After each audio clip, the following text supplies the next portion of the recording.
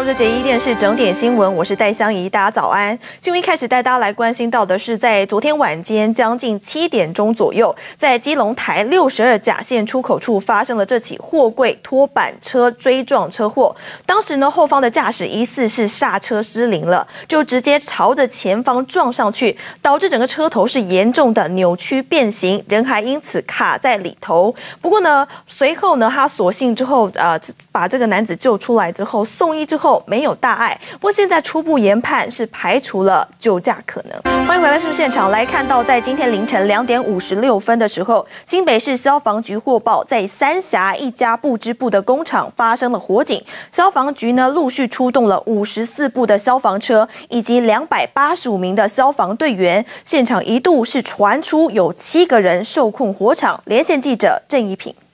好了，主播。这焦点来关心到的是，伊朗的将军苏雷曼尼被这个美国的无人机给炸死了，导致呢当地的群众情绪都相当的激动，大喊着要复仇，更撂下狠话呢，说就算杀了美国总统川普都不足以补偿。双方的紧张情势火速升温当中，但不止呢是让中东不平静，这个德英法三国也发出了联合声明，要呼吁伊朗停止抵触核。子协议，就连日本首相和菲律宾总统也纷纷来表示，要派军舰前往中东，稳定自家船只的安全，也要接国人回家。新任香港中联办主任骆惠宁在昨天是召开了记者会，来跟媒体相见欢。不过这个首次亮相发言却引发了争议。骆惠宁呢，他先是感叹了香港局势让人觉得很揪心，不过话锋一转，谈到了一国两制，他还是说是香港最大的优势。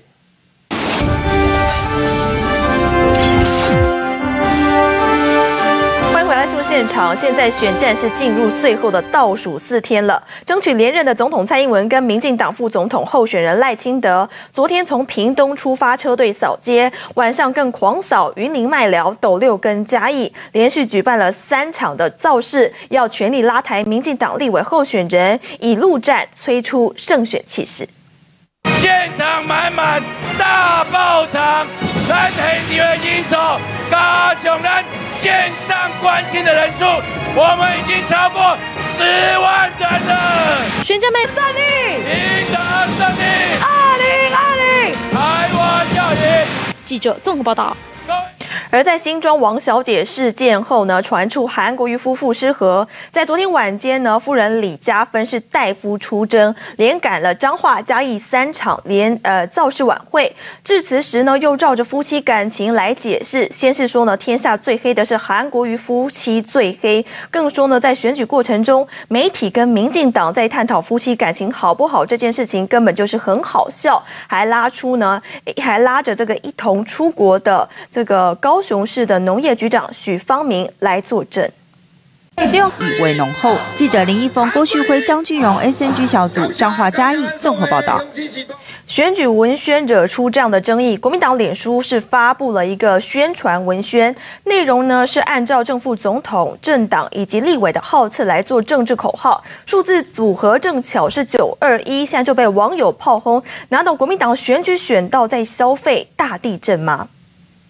农历春节前呢，有很多的业者店家就会推出福袋来刺激买气。今年各大超商也不例外，像是 Seven Eleven 的福袋是限量二十五万个，一月初贩售当天就几乎是秒杀了。而来看到是全联也寄出了头奖三百八十八万的名车，而全家呢也推出了八十万份的前属福袋。业者表示呢，不到一个星期热销将近五成，但是呢还是有部分网友觉得内容物 CP 值不高诶。月公路客运基本运价上调，政府一年砸了三亿多才让票价动涨。不过现在国道客运也撑不住了，跟着要喊涨，基本运价估计要调涨十七点七。百分之十七点十一七，让民众呢担忧呢会连带影响票价。不过呢，这个客运业者也说呢，他们有苦衷，认为呢已经是多年没有涨价了，再加上呢一例一休上路加班费的成本根本是大涨一波。但是呢，交通部给了承诺，就算核定涨价也会补贴，不会直接反映在票价上头，要民众放心了。来回。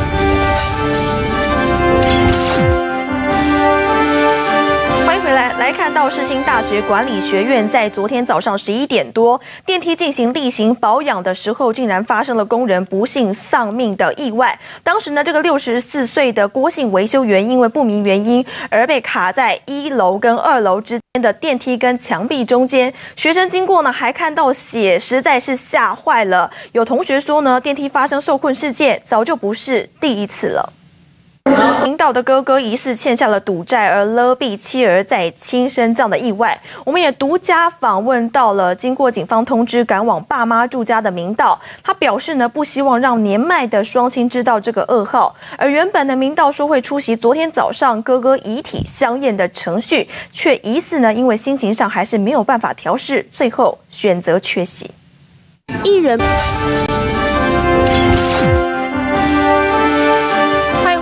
场，国际焦点来看到，澳洲大火已经延烧了超过三个月。从五号开始呢，当地的火场前线开始下起了毛毛雨。很多人认为呢，难道是久旱逢甘霖是个好迹象吗？不过，在受灾最严重的维多利亚省，却只有五到十五毫米的没有帮助的毛毛雨。不过，这个还阻碍了重型救灾机具的调度，使得打火任务更加的挚爱难行了。现在，很多的国际大咖艺人都发文。来为澳洲灾情劝募，连这个影后妮可基曼夫妻也抛砖引玉的捐了五十万美元。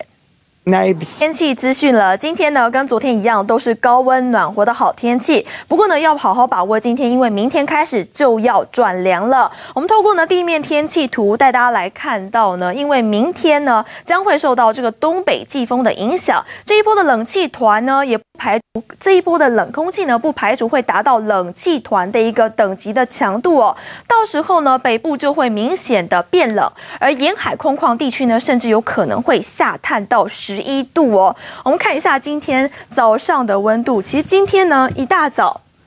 即时气温来看到呢，其实有关于这个今天是这个属于是多云到晴的一个稳定天气，但是一早清晨我们看到还是有十四、十五度的一个低温，甚至呢在高雄的内门啊。